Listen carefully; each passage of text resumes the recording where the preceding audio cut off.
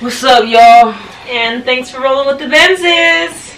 So today we're gonna talk to y'all about how we feel about breakups, letting go, and moving on. I kind of feel like breakups can be kind of separated into two segments because you have like your breakup, you have your people who break up in their relationship all the time and no, they ain't really going nowhere and post it all over social media and make their relationship a joke. But then you have your people who don't know when to break up with a bad mate. True. So, breakups. My motto on breakups is break up or shut up. That's a good one. That's how I feel. Cause don't nobody want to keep hearing about that shit. That's true.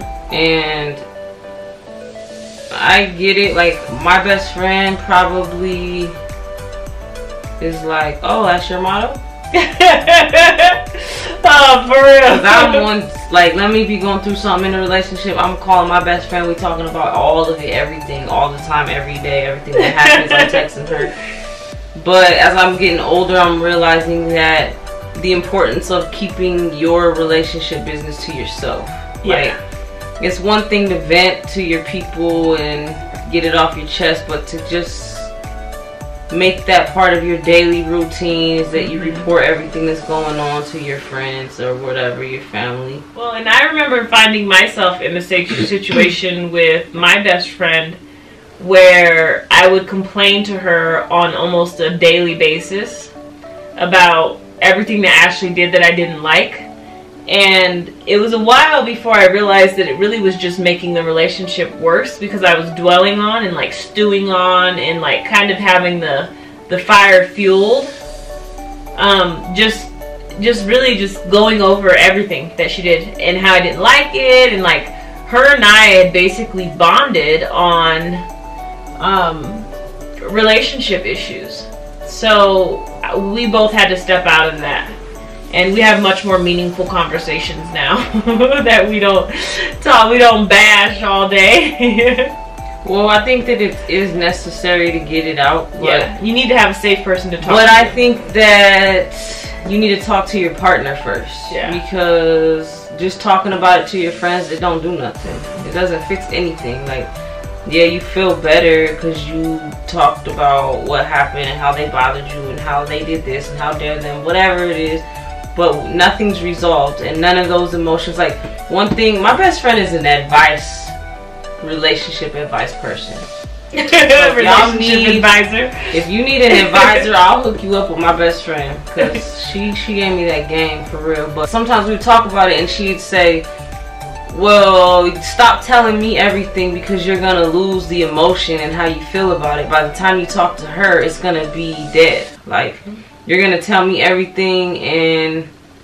By the time you get to her, you're just repeating a story that you told me.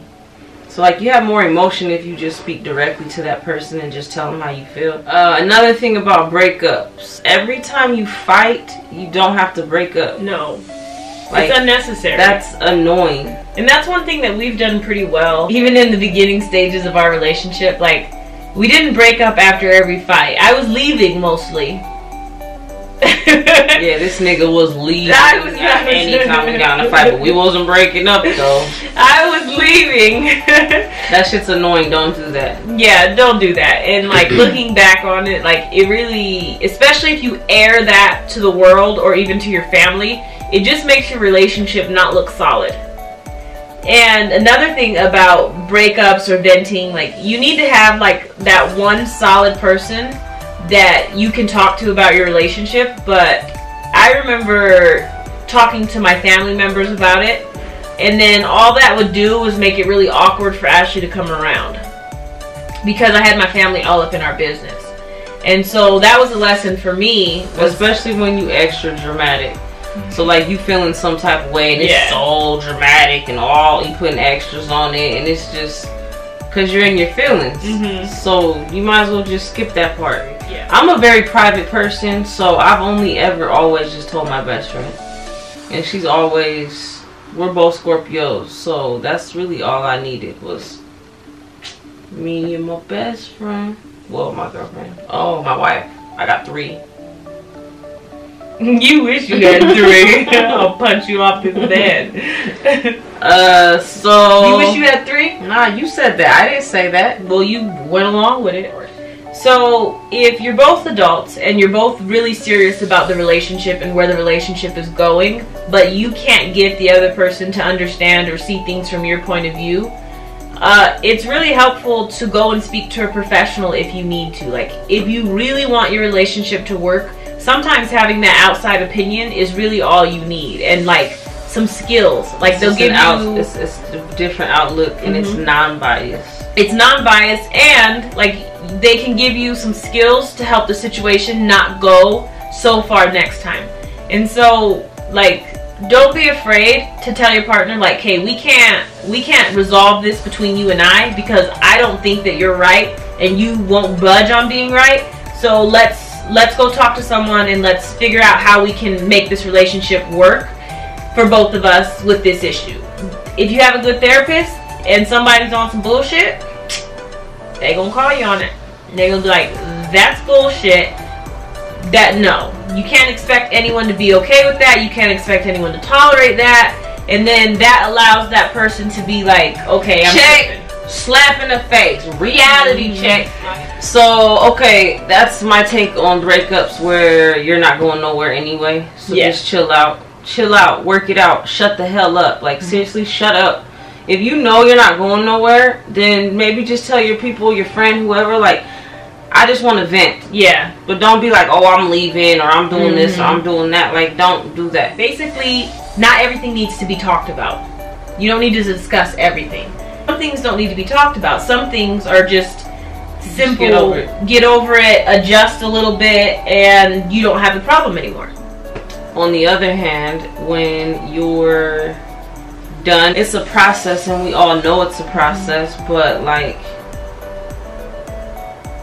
go with the process. Like, And trust life. you just gotta take that chance and you gotta let it go. In some end of relationships or situationships or whatever, there's like a lot of attachments, but like those can drag on forever. You just gotta cut the ties. You have to. You gotta cut the ties. Me, I can't talk to you. Like there's no in between. There's no gradually whatever. It's like, all right, you gotta go. Here's your shit. Let me get my shit, and that's it. Well, and that's that's like one of the biggest things, especially like with with uh, with women, is like we we love so hard, and so when it is time to really go your separate ways, you want to be friends with someone, or you still want to talk to someone, and like it, it doesn't work. You can't do that. No, you can't. It's it, that it's never going to work that way. Like you can't be friends with that person, and like that person can't be contacting you and calling on you for for stuff. If you guys aren't going to be in a relationship, maybe come six or seven months down the line, y'all can form a relationship that's not based out of love, but you can't. And one thing you really, really can't do is think you're going to keep having sex with that person and you're going to get over that person. Because you ain't about to keep having sex and then just, oh, no feelings though. Like, no, you already have feelings for that person. So the sex has to go. If you're gonna try to have another relationship, that whole friend of my ex thing, Mm-mm. that ain't gonna work. And if it does work, it's because the other person doesn't really take you that serious in the first place.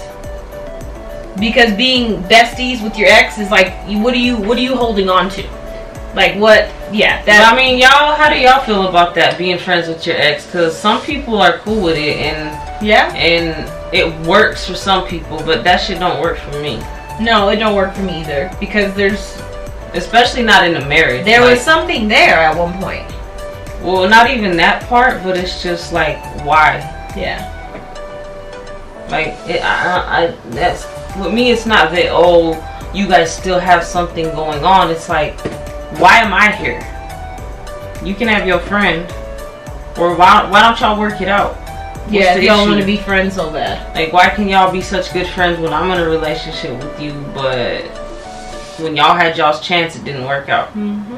I don't know. I'm not really with that shit. So No, I'm not. I I'm mean, not I. I if I'm dating you or something, which that's been crushed. I'll never date again, but.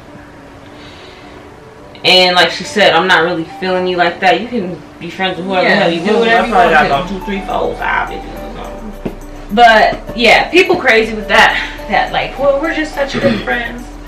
Yeah, no, you're. So that kind of leads into the letting go part. Like it's Mm-hmm. hard to let go of shit, especially when you're used to it. Like I have a friend right now who's going through a breakup of six years, and even though as, as the years went by, like she can get boring or whatever, and it's just like, damn, I'm over this. When that time really comes, it's different. Yeah, you just feel like you feel different. Both when it people. yeah when it's real and it's really over it's like damn and it hurts. Even you could not be feeling that person for the last whole year. And you could be planning on leaving that person. but then when it really happens it's sad. Yeah, and it sucks sad. and it's hard but you gotta it's like a rebirth. Well, and I think the biggest, one of the biggest lessons that I've learned just in life, not really with like a breakup or anything, but it's like you have to feel whatever emotion it is that's going to come with that. Because if you just try to stuff it and just be strong and like, I don't care, I'm just going to do me and I'm not going to worry about it, like, you're not ever really going to let it go. Because you're not ever really allowing it to to touch you. Like, emotions are energy in motion so you have to allow the emotion to move through you so that could mean crying and being sad but like it'll go away. And when it goes away you'll actually be healed. It won't be something that you stuffed down so far that the next time you get into a relationship you got these issues surrounding like well are we gonna break up in six years? Or, or when are you gonna leave? I can't take this seriously. Like so you have to really deal with it and give yourself the time to really deal with it. Like if you want to have fun and stuff you know do that but don't go hopping right back into another relationship unless you just really happen to just find the one. One of the things about like when you find the one like one of the easiest ways to like really know like this is something that's really worth my effort and my my all is does that person challenge you to be better? Not to be not to like live up to their expectation or or be a certain person for them but like do they want you to be a better person for you? Like are they encouraging you like hey you know you say you love to write. Like we should go do this thing with your writing. Or you know you're really good you're really good at this. Like we should figure out how we can get your work out there. Um and like really challenging you to push yourself to be better. Not better for them better for you. And then that's kind of how you know like okay if if i take this seriously like we can push each other and we can really build something amazing. Because we're both challenging each other to be better versions of ourselves.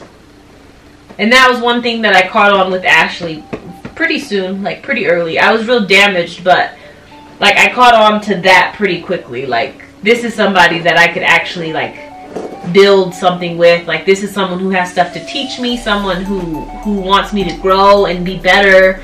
Um and so i'm glad that i was only half stubborn and i like just kind of pushed her and then i pulled her pushed her and then i pulled her shit i was on my way out. No, I'm just kidding. Shut up. but uh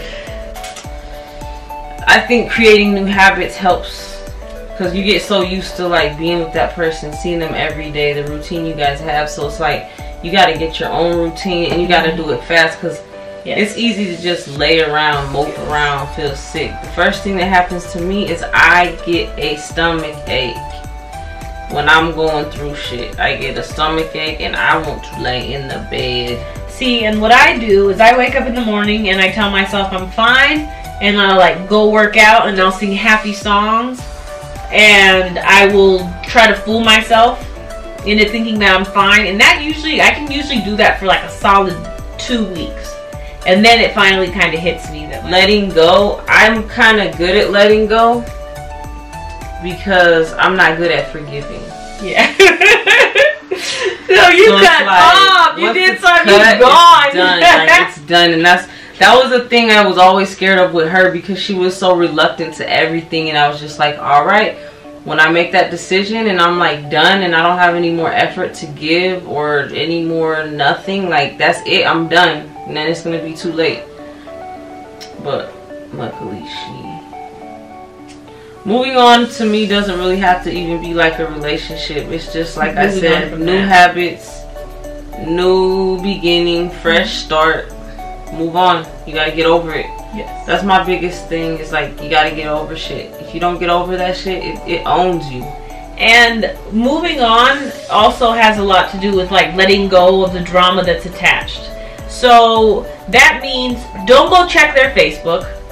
Don't go stalking their Instagram or their new girl's Instagram or none of that because you're just gonna make yourself mad. Mm-hmm. And so why like if you really want to let go and you really intend on moving on, then just just don't do any you gotta make a decision. That's one thing I'm big on. Like with self is like you have to make the decision within yourself. Like when I knew I was gonna ask her to marry me, it was like I made the decision. Like okay, like you have to be faithful now. You have to be honest. You you have to do these things that are different because this is a whole new like this is a marriage. Like you make that decision and you hold yourself accountable to it. Like if you're done, you're done. You don't you don't like she said you don't look at their Facebook, you don't call them when you miss them. You No. you fight that shit. You got to and it's not easy. So when you want to call them, you call your best friend. Who you miss, girl? Like you know people be breaking up and then they they have their little like weak moment. Mm-hmm. Where Or they, they get drunk and they want to call or text or especially the thing that I never really understood though is mostly like why are you still talking to their family? Oh my god. Yeah, cut it off. Like like I've seen a meme before and it's petty but I feel like it's pretty serious to me is if we break up, you broke up with my family. Mhm. We're all breaking up. You don't need to talk to my family no more. And I'm petty enough to say that I might trip on my family for talking to you. I might get mad at my family. Mhm. Because what business, like, That's because they just can't let go. They're dangling by a little string. Like I guess. it's petty. I but- guess. But even with that, like you gotta let people be where they are, and if they petty, Yeah. they just petty. Yeah. Just step over them on your way up. Yeah. My thing is like, so if you are moving on from somebody and somebody is won't leave you alone, you can block the person, and if they continue reaching out in other ways, change your phone number. Like if you're really serious about it, change your phone number. And if they're reaching out to your family and your family's like hitting you up like, oh hey, so and so called me, check your family member and just tell your family member, I don't want to hear about it. So don't call me. Don't tell me nothing about what that person said. If you want to keep talking to that person, then that's you. But don't be don't be relaying no messages over here. I'm over it. I'm done. And like just really just completely remove that person from your entire life. Like get rid of pictures, And like all that. like get it. rid of all of it. They don't like it, but that's why you got to make the decision, know what you what you decided, and move along. So the most important thing in moving on from a toxic relationship or a relationship that you're that you don't know you don't think is going anywhere is how are you going to find your soulmate or the person you're meant to be with if you're still feeding in and playing with this drama situation over here. That ain't going nowhere. That ain't going nowhere. I told my friend, so I said, you know, she had been in this relationship for six years. And I asked her just straight up, like, so do you feel like you've grown in those six years? And she said no. And, like, that's a big red flag. Like, if you haven't grown in the relationship, if somebody, if you can be with somebody and y'all are both comfortable or happy enough, happy enough that you just stay where you guys are at, mm-hmm. it's just not a good situation and y'all might be in love and you might be happy but growth is important like. You cannot just be the same person for six seven eight nine ten years. So shout out to the homie because your new life is about to start and it's gonna be lit. It's gonna be lit. Well, and when you really take care of yourself and like you you focus on yourself and get you together, like when someone does come mm-hmm. along, like you you have a better odds of attracting a better person because if you want a, if you want a butterfly, you have to be a butterfly. Ain't nobody who has their life together going to come and mess with somebody who doesn't because it, it doesn't matter. well they might sense. they might go back but- to their wife at the end of yeah, the you know what I mean? Because You- why? you look like a side chick you act like a, you gonna be a side chick yeah. And so people are like, in order to date me, you have to have this, this, this, this, and this. Well, make sure you got all that stuff first. Anyway, y'all, uh, let us know what y'all think. Anything, even if you don't agree, we here to have a discussion. We ain't saying this is law. We are interested in what you guys think too. And like we said, we're open to different outlooks, and y'all should be too, because something that y'all say might change something that we really feel strongly about or think. So hit that like button if you want to see more advice videos or discussions, have more advice discussions with us. And if you have a particular topic that you want us to cover, Put that then the put that in the comments. and, And turn them notifications on. notification gang. Notification gang, where y'all at? We're gonna give out a shout out real soon. So put them notifications on and comment done. Actually, we will do a shout out on the next video. Okay, we just have to remember. Yeah, so go ahead and uh go ahead and turn notifications on, comment done, and we will shout you out in our next video. We'll pick three people. Ah. Thanks for rolling.